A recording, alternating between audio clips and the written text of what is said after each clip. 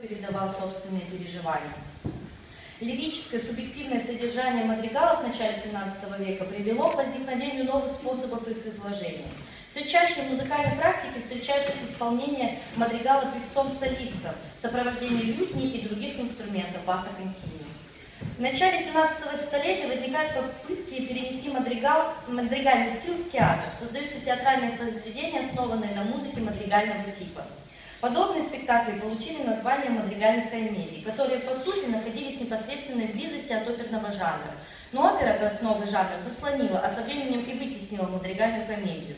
С другой стороны, родившийся оперный жанр оказал немалое влияние на мадригал, в чем можно убедиться на примере мадригала «Лошадами Марира», принадлежащего Перу великого композитора Клаудио Монтеверди, который сегодня будет исполнен. Клаудио Монтеверди – крупнейший музыкант XVII века.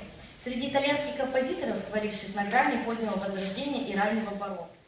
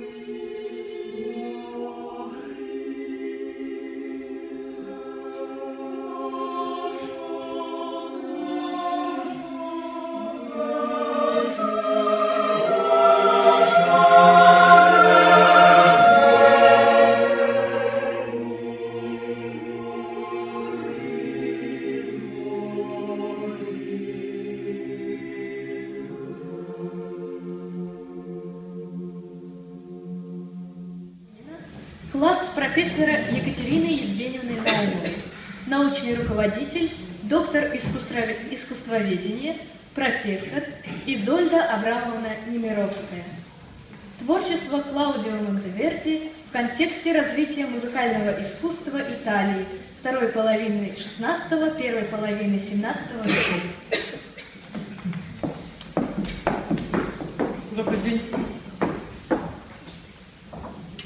Хотела продолжить тему о Клаудио Монтеверди. Как уже было сказано, а, в 1567 году он родился в Кремоне.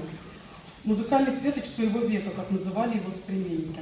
О гениальном итальянском музыканте, которого, подобно Баху, постигло странное забвение после смерти и который был заново открыт более 200 лет спустя. Клаудио Монтеверди – итальянский композитор, автор мадригалов, опер, церковных произведений, одна из ключевых фигур эпохи, когда на смену музыкальному стилю Ренессанса приходил новый стиль барокко. Творчество Монтеверди можно разделить на два периода – монтуанский и венецианский. В 1590 году Клаудио ходатайствовал о получении места скрипача в придворном оркестре Винченцо Гонзага и был принят на службу. Служба в Мантуе принесла музыканту немало разочарований. Лишь в 1594 году Монтеверди стал кантором и только в 1601 году получил должность мастера музыки герцога Монтуанского. В первые десятилетия при Монтуанском дворе Монтеверди сопровождал патрона в его путешествиях в Венгрию и Фландрию.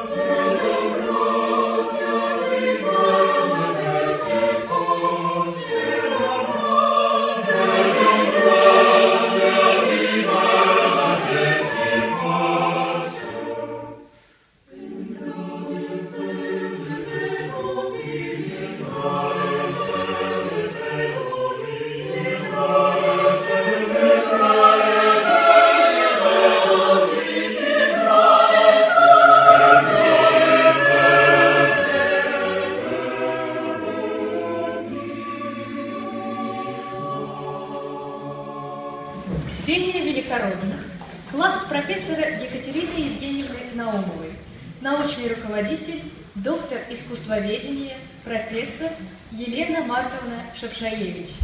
Жанр шансон в творчестве Орландо Ласса на примере «Я люблю и буду любить».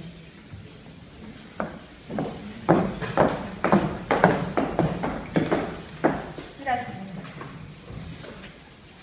Э, В музыкальной культуре эпохи Возрождения интенсивно развивалось светское искусство, проявляя себя в светских песнях, таких как французская шансон, испанская вильянисико, итальянские платово, беланеллы, английские немецкие многоголосные песни, а также мадригал. Шансон появилась еще в период раннего Ренессанса, но уже в XVI веке она стала одним из самых популярных светских жанров. Содержание шансон чаще всего связано с образами любовной лирики, ее радости и невзгоды. Однако в любовной лирике сфера образов шансон далеко не исчерпывается. В них нередко встречаются бытовые зарисовки, жанровые сценки, даже комические элементы.